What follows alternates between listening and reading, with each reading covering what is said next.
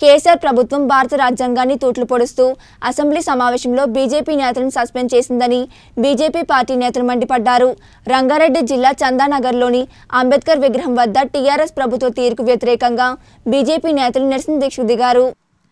ఈ సందర్భంగా బీజేపీ రాష్ట్ర ప్రధాన కార్యదర్శి దుగ్జాల ప్రదీప్ మాట్లాడుతూ బీజేపీ పార్టీ ఎదుగుదలను చూస్తుంటే కేసీఆర్ వెన్నులో వణుకు పుట్టి శాసనసభలో గవర్నర్ ప్రసంగం ఉండాలని కోరినందుకు బీజేపీ పార్టీ ఎమ్మెల్యేలను శాసనసభ నుండి సస్పెండ్ చేయడం ఎంతవరకు సబబు అని ప్రశ్నించారు.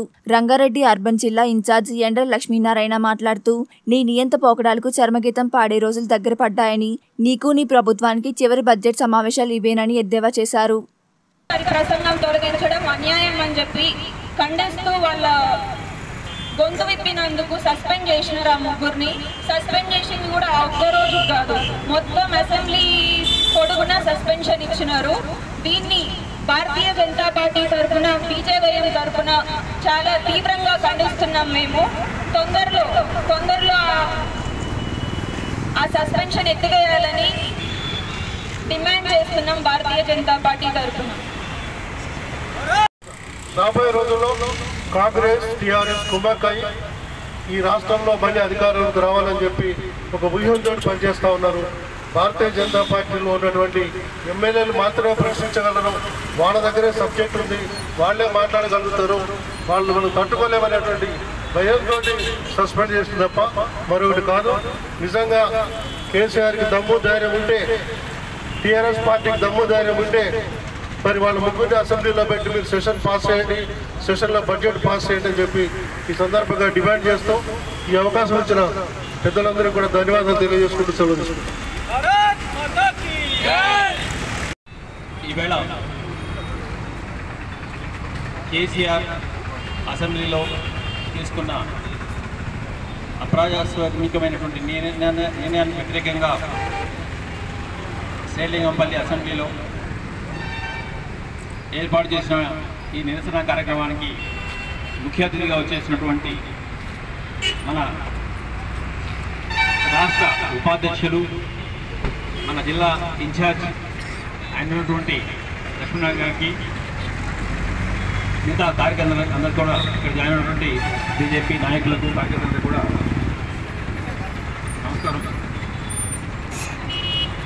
మనం నా నా టైంలో ఫస్ట్ టైం చూస్తున్నాం. నేను నలభై ఐదు సంవత్సరాల నుంచి రెగ్యులర్గా చూస్తూ ఉన్నాను. ప్రతి బడ్జెట్ సెషన్కి సెషన్కి ముందు గవర్నర్ ప్రసంగించడం అనేది ఒక గవర్నర్ మాట్లాడేటప్పుడు ఇంతకుముందు చేసినటువంటి ఏవైతే అచీవ్మెంట్స్ కానీ ఇక ముందు చేయబోయేటువంటి కానీ ఈరోజు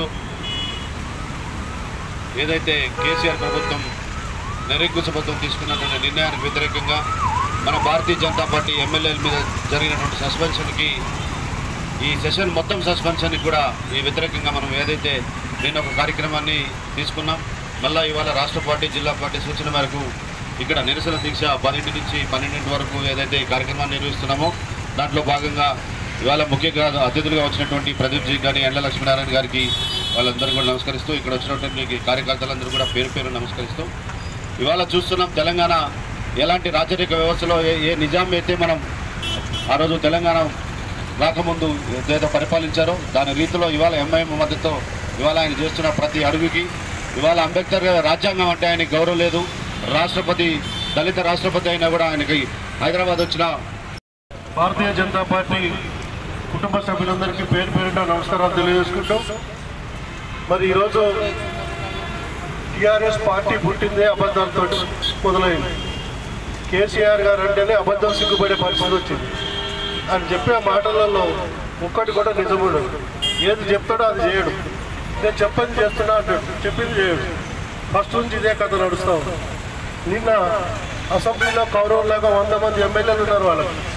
ముగ్గురు ఎమ్మెల్యేలు బీజేపీ ఎమ్మెల్యేల గురించి భయపడాల్సిన అవసరం వచ్చిందంటే ఇక్కడ బీజేపీ గొప్పదనమా టీఆర్ఎస్ గొప్పదనమా ప్రజలందరూ ఒకసారి ఆలోచించారు మరి ముగ్గురిని తట్టుకోలేని ముఖ్యమంత్రి నేనేదో మొత్తం దేశం మొత్తం తిరిగి పీకేస్తా లాగేస్తా అంటున్నాడు. తెలంగాణలో ఇంతవరకు నిరుద్యోగులకు ఉద్యోగాలకు ఇబ్బంది పడుతూ ఉన్నారు. మహిళలకు సెక్యూరిటీ లేకుండా ఇబ్బంది పడుతూ ఉన్నారు. పేద ప్రజలకు పనులు లేక ఇబ్బంది పడుతూ ఉన్నారు. ఇవన్నీ పట్టించుకోకుండా మరి బడ్జెట్ సెషన్లో ఎత్తివేయాలని చెప్పి మేము డిమాండ్ చేస్తున్నాం. భారతీయ జనతా పార్టీ రాష్ట్ర కార్యసభ్యులు జ్ఞానప్రసాద్ గారు అట్లాగే ఈనాటి దీక్ష నిరసన దీక్షకు ముఖ్య అతిథి చేసినటువంటి పెద్దలు గౌరవనీయులు రాష్ట్ర ఉపాధ్యక్షులు జిల్లా ఇన్ఛార్జ్ అయినటువంటి ఎండ లక్ష్మణారాయణ గారు మిగతా పెద్దలందరూ కూడా డివిజన్ అధ్యక్షులకు మరియు జిల్లా నాయకులకు యువమోర్చా నాయకులకు మహిళా నాయకులకు మరి మిగతా ఓబీసీ నాయకులకు యువమోర్చా నాయకులకు అందరూ కూడా పేరు పేరున ధన్యవాదాలు.